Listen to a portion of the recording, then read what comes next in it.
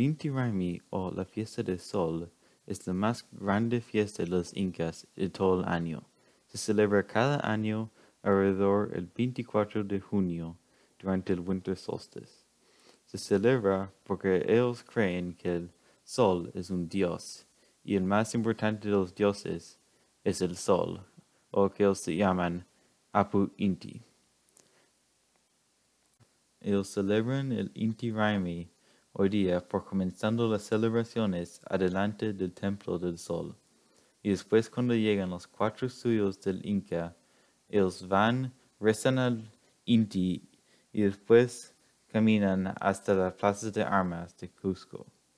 Y después ahí un fortune teller dice lo que va a pasar ese año.